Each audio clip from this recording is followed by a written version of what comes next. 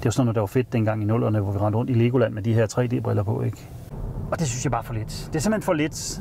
Jeg ved godt, jeg siger det hver gang, der kommer en ny Peugeot. Lad nu være, Peugeot. Hvorfor?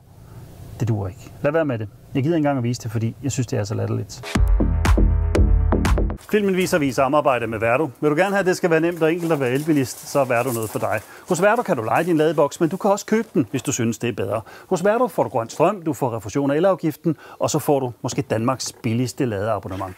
Tjek verdo.com biltesteren. Jeg kan rigtig godt lide stationcars. Jeg synes, der er et eller andet over en stationcar, som man godt kan sige, sådan er det altid. For eksempel så er den næsten altid flot. Det vender jeg lige tilbage til med den her.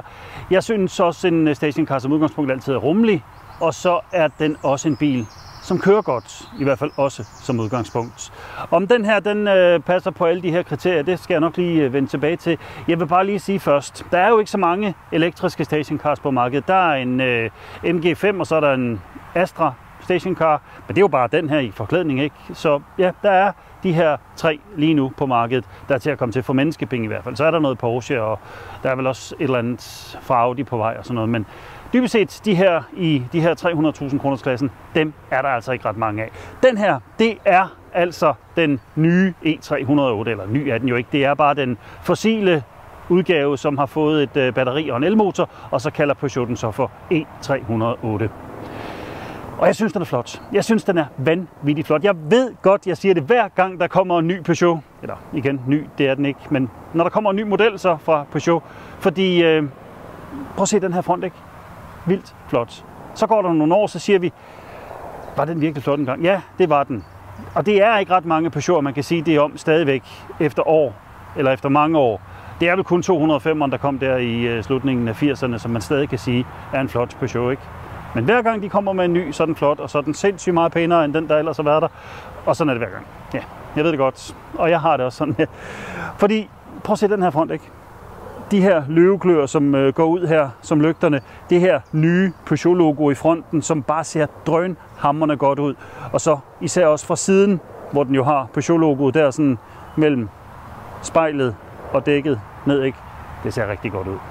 Bagenden på den, det er også et sted, hvor jeg sådan siger, her har man lige ramt den, som det skal være. Designmæssigt sidder den nemlig lige i skabet. Og så er den flot i sort, den her E308, synes jeg. Det her, det er så GT udgaven, altså topudstyrsvarianten. Den fås i to udstyrsvarianter, Allure eller GT. Den her, den koster så 335.000 kroner, i hvert fald her i juni måned 2024. Det kan jeg ikke helt regne med, fordi importøren plejer at skifte lidt rundt med priserne. Men lige nu i hvert fald, det sidste jeg har tjekket, det er 335.000 for den her 308 SW GT. Og kom jeg lige lidt for let omkring bagenden på den lige før? Ja, det gjorde måske nok. Så jeg tager den lige her igen, for jeg synes nemlig, det er en meget flot røv, den har E308'eren. Og især i den her GT-udgave, som har øh, fået de her øh, 3D-baglygter, som gør, at det hele ser meget mere eksklusivt ud for dem, der kører bagved den. Det kan jeg godt lide. Den øh, kan desværre ikke få anhængertræk det er sådan lidt en øh, streg på den, fordi der er jo rigtig mange, der køber en stationcar, som også har brug for et anhængertræk til at trække afsted med en trailer eller en campingvogn, måske bare en kamplet, men det kan du ikke få til den her, fordi den må trække lige så meget som 0. Zero. Det synes jeg er ærgerligt.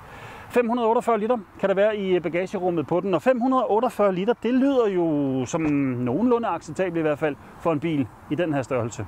Problemet er bare, at det er også kun 548 liter, for der kan ikke være en, der er heller ikke en frunk ud foran, så du kan ikke putte noget derud foran. Du har kun det her plads at gøre godt med. 548 liter. Og der er heller ikke sådan et, øh, et rum, eller ja, det er der, der er et lille rum her nedenunder, men du kan se her, det er ikke hernede, du kan ligge andet end ladekabler og et par små ting. Altså gummistøvler og sådan noget, glem det. Det kan du ikke putte her om i, fordi der er simpelthen ikke plads. Rummeligheden på øh, bagsædet, det skal vi også lige have tjekket. Jeg skal ind og øh, sidde bag ved mig selv med mine 186 cm i højden. Og jeg er nu her inde på bagsædet af bilen. Ja, lofthøjden, ja, den er okay, det vil jeg sige.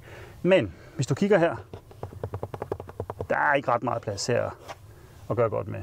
Så ja, lårstøtte, nej, det er der heller ikke rigtig noget af. Så jeg vil sige, bagsædet, det er ikke til øh, folk, der er mere end 180 cm i højden. Jeg synes, der er, øh, der er lige lidt nok plads her om, den, er, øh, den kunne godt lige bruge et par centimeter mere imellem akserne for at, at øge rummeligheden her, men sådan har man altså ikke valgt, det skulle være. Og husk i øvrigt vores øh, samarbejdsaftale med din tøjmand, hvor du får 10% på hele dit køb, hvis du øh, køber det på din tøjmand.dk. Du skal bare lige huske rabatkoden biltesteren 10, når du tjekker ud, så får du de her 10%. Det gælder selvfølgelig ikke på varer, der i forvejen er nedsat, men alt hvad der er nyt, det får du altså 10% på. Det her tilbud, det gælder frem til den 31. i 8. 2024. Og husk, det bedste du kan gøre i det her tilfælde, det er at benytte dig af sådan et tilbud som det her, hvis du gerne vil støtte det, jeg går og laver. Og der, hvor jeg måske også er en øh, lille smule utilfreds med den, det er på drivlinjen på den. Fordi Peugeot har jo af en eller anden grund valgt at lave den samme drivlinje i den her, som man har i E208'eren, altså den med det relativt lille batteri på øh, 54 kWh brutto, det er så omkring 51 kWh netto. Der kunne jeg godt tænke mig, hvis den for eksempel havde haft øh, 70 kWh, bare sådan for at nævne et eller andet. Fordi det ville have givet den en lidt længere rækkevidde. Den har på papiret en rækkevidde på 409 km.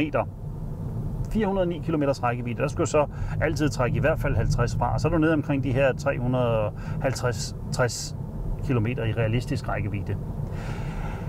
Og det synes jeg bare for lidt. Det er simpelthen for lidt.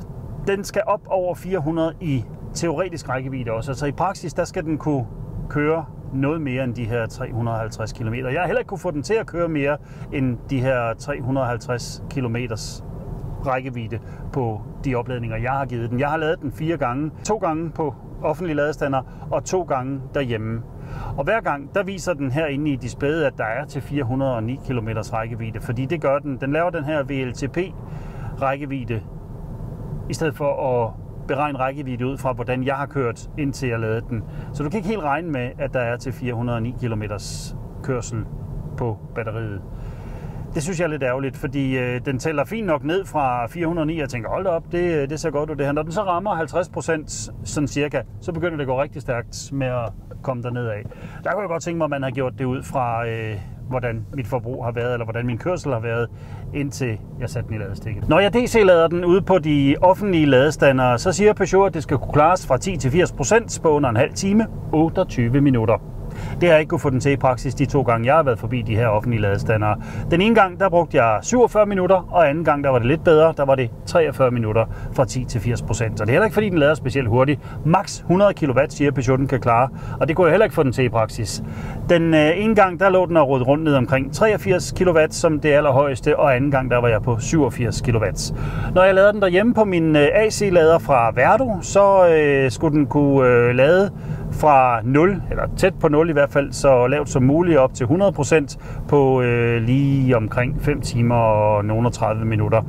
Det kunne jeg gøre på 6 timer derhjemme på min verdolader. Og det synes jeg er acceptabelt, fordi jeg kommer jo bare hjem sent om aftenen, og jeg sætter den i ladestikket, og så næste morgen, når jeg kommer ud til den, så er der 100% strøm på. Det er egentlig meget nemt. For standard er E308 egentlig rigtig godt udstyret. Den har 18 tommer alufælge som standard, den har øh, nøglefri betjening som standard, den har LED-lygter som standard, den har også den her øh, 10 tommer instrumenteringsskærm, digital instrumentering som standard. Hvis du prøver at se den her fede detalje hernede under med det franske flag under Peugeot, det synes jeg, det ser godt ud. Den kan det her display få som 3D-display. Det var sådan noget, der var fedt dengang i nullerne, hvor vi rendte rundt i Legoland med de her 3D-briller på. Ikke? Lad nu være, Peugeot. Hvorfor? Det duer ikke. Lad være med det. Jeg gider ikke engang at vise det, fordi jeg synes, det er så latterligt. Den har også øh, den her øh, 10-tommer infotainment-skærm som standard. En skærm, som jeg synes er lidt langsom på kommandoen, og så ser grafikken ikke specielt godt ud. Hvorfor gør I ikke bare som jeres ærkerivaler Peugeot over hos Renault og bruger Google Automotive, som er et vanvittigt godt system, der spiller max i stedet for det her. Det er ikke særlig godt. Så De her øh, iToggles øh, betjeningspanel her, som ja, det virker udmærket, men igen, det er ikke fordi, det er særlig fedt med de her touch-knapper. De her knapper hernede under til betjening, det er der ikke rigtig noget at sige til. Det kan jeg godt lide. Gearvælgeren, den sidder her. Den er i aluminium, og den er sådan en lille fix gearvælger, som jeg egentlig rigtig godt kan lide. Og så er det bare en øh, kabine, som materialemæssigt er lavet i nogle ret flede materialer som øh, jeg synes, der er mange, der godt kunne kigge lidt til og tænke, det her, det holder sgu meget godt. Det virker rigtig godt. Sådan rent effektmæssigt, der har den en effekt på, hvad der svarer til 156 hestekræfter, og den har et moment på 260 Nm. Og jeg synes egentlig, det er udmærket. Jeg synes ikke rigtig, at jeg mangler noget sådan til helt almindelig hverdagskørsel der. Det er klart, den er ikke sådan voldsomt hurtig. Den er øh, 10 sekunder om at nå fra 0 til 100 km i timen. Og det er så sjældent, at en elbil den bruger så lang tid om at nå op på 100 km i timen. Den har til gengæld et perfekt samspil mellem styretøjet og øh, motordelen. Jeg synes ikke rigtig heller, jeg kan sætte nogle anmærkninger der. Den er sådan både komfortabel og øh, frisk, uden at være sådan direkte sporty. Den har sådan en helt almindelig standard undervogn, som jeg egentlig også synes er udmærket. Så nej, der er ikke rigtig noget at komme efter på den der konto. Og det var egentlig, hvad jeg havde at sige om den her Peugeot E308. Jeg håber, du kan lide filmen. Hvis du kan, så må du meget gerne give den et like. Del den, kommenter den, bare du gør et eller andet. Det hjælper os nemlig rigtig meget i det store spil. Og så skal jeg lige huske at sige, hvis du er en af dem, der kigger med over på vores øh, Facebook-kanal, så må du meget gerne gå over på YouTube og abonnere på vores YouTube-kanal. Der hedder den bare Biltesteren, fordi så får du nemlig øh, en besked hver gang, vi har en ny film online. Tak fordi du kiggede med.